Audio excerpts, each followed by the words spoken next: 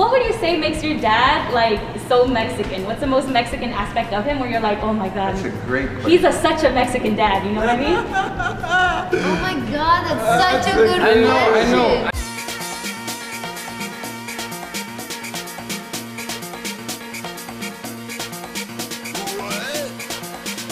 Hey friends, it's AK with LATV. Today we came over here to the Staples Center to see what Pepe they do Jaripeos Sin Fronteras. Let's check it out.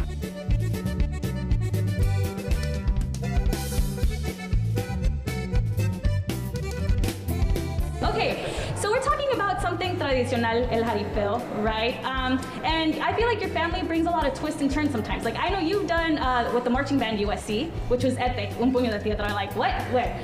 With el jaripeo, do you guys want to bring new energy? Are you trying to redefine jaripeos at some point? What does that look like? Oh yes, we are trying to redefine it. Tell us. and we will. We, we're definitely, we definitely will. We were, we were on the right track, but this COVID thing, you know, stopped everything. Of course. But uh, we, we wanted to establish ourselves as a serious brand, you know, as something that, you know, was worthy to go see. Uh, and then after that, we were going to start revamping it and removing it and reshaping it and and we didn't have the chance to do it. Ah, but, okay. but now, oh my gosh, now it's going to be it- it's going to be crazy. We have a lot of plans to to to start mixing mixing up different things from our culture and different Latin American cultures, and also with technology, and also with uh, with with the current uh, uh, lights and sound and everything that is available for this type of shows. So que va haber producción, va haber producción total. Va a haber- Blow the roof. Muchos animales de cuatro y de dos patas. Yes. I love it. Now, maybe you two can touch on this subject a little bit. What do you think is the status of like traditional music with the younger generations? Do you feel like you kind of need a push to get them um, to enjoy this kind of show, or how, what do you feel about that? First started to sing Mariachi music and Mexican music, um, I was literally nine years old. I was eight, nine years old. I saw you, yeah. Twelve. So like, it was hard because people didn't know, people didn't understand what we were talking about, or our generation didn't really like um, see themselves listening to that type of music. And it's truly amazing that now um, regional Mexican music and Mexican music is, is so popular around the world, and it's and it's doing amazing. So I don't think it's hard for people to come and see us sing, see perform this these songs because right now it like people just want to be a part of something. And if you're Mexican, it's amazing to be here, to be indulged in the traditions, and just like know and learn a few things.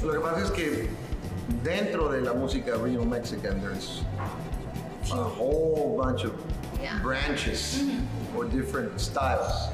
What we do is more traditional, but um, I don't know how much traditional, qué tan tradicional sea, porque igual y sí, pues si cantas una canción como Puño de Tierra, eh, no la puedes cantar de otra manera, pero no es our new material, the one, the one that we're gonna come up with. right, right, right. very, very different. Very different. It's Okay. a mix of, of, of, of what's going on right now, which is cool. It's amazing. You know, I've never seen in 30 years of singing, nunca había visto a tanto músico virtuoso dentro de la música mexicana.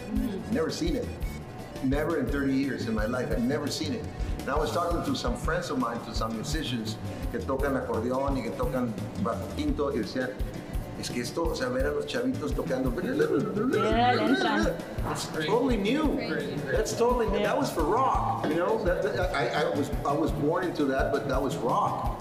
You know, hammer on, pull off, todos estos tipos de, de- de técnicas que ahora se utilizan en la música mexicana. What the heck is going on? Okay. The world is upside down. It's amazing. I love it. I love it. I love it. Nada más que no todo tiene que sonar igual.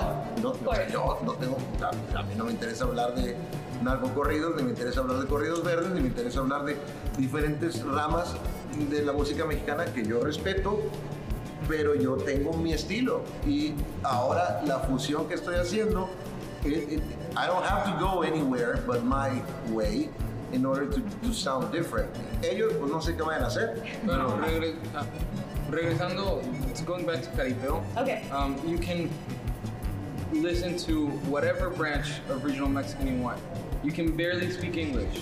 You can only speak Spanish, whatever it is, um, and you're still gonna enjoy the show. Because it's it's it's a very ba- I don't know if I can say this word.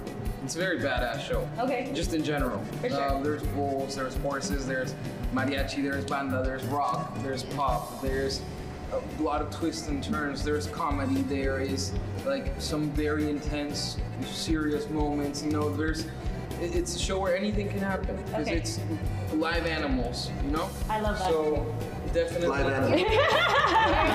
Your definition. Whatever branch you enjoy of regional Mexican, you'll enjoy. Jaripeo. You'll enjoy it. What would you say makes your dad like so Mexican? What's the most Mexican aspect of him where you're like, oh my god, That's a great question. he's a, such a Mexican dad, you know what I mean? Oh my god, that's such a good I know, I know. I, I have an easy. His food tastes. Okay. Oh my God, they're so Mexican. Habanero? They're- no, even more. Like, Oh my bag, God. In My bag. food It's taste. not. It goes beyond because everybody my has their comfort food, right? Everybody Okay. has their comfort food, and it's no secret. Like we like s- things, uh, it's like certain things because they remind us of something that Of we course, like. yeah. And so my dad's favorite food is huevos en salsa, you know, tortillas, frijoles, de mano. of you know, course, yeah. um, aguas frescas. Salsas. Okay. Exactly. And now during the pandemic that I was in Tayahua for a year and a half, I got it. I understood Oh, okay. completely why he, he loves that so Yeah. much. But I think that's the most stereotypical Mexican Of course. dad thing that Las he No. does. salsas. Oh, okay, Yeah, yeah, yeah. that and also los dichos mexicanos. A veces dice unas cosas, you don't even understand what he's saying. He goes, más rápido cae un hablador que no sé cuál. And you're here like, okay, like, There's some that I don't know if he's making up on the yeah, spot. I Right. don't think he's making it up. And then sometimes in, when we do interviews in English, he'll try to like translate it and it doesn't It doesn't work. work, yeah. Doesn't it's like, Sana, sana, colita, drana, Exactly. drana.